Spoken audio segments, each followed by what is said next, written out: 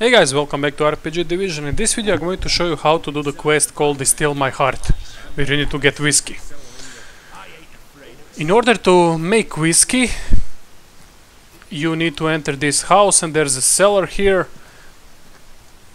where there's a recipe how to make whiskey. You will find out how to do it, but I will show you anyway in the video, so you don't really need to go there for the recipe only. There is barley over here.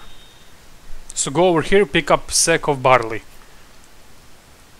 After you get barley, you need to go over here in this mill. I will show you right now. And you need to drag sack of barley to this mill over here. Just like dragging ore to the furnace to make ingots. Then you'll get sack of uh, something, I forgot the name. After that, you need to go over here to the well, use the bucket, use it on the well, you'll get bucket of water. Yeah, sack of grist, you'll get sack of grist. And now that you have water and the grist, you will now use sack of grist with bucket of water over here. And you'll get wort.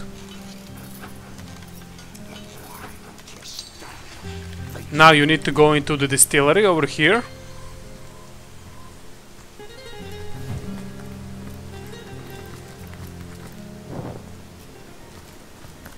Drag wort from your inventory to the pot still.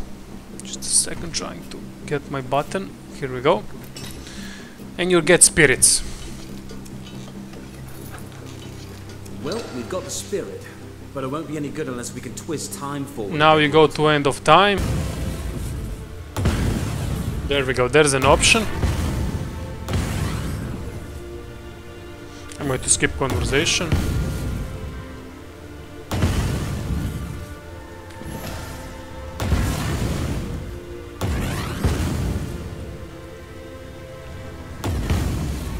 And it is done. Now let's get back to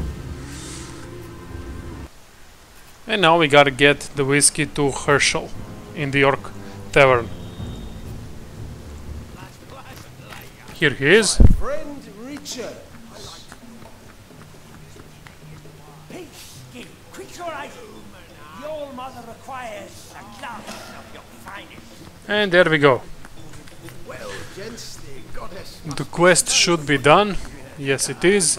Thank you guys for watching. I hope this video helped you. See you in one of the next videos. Soon to follow. See you then.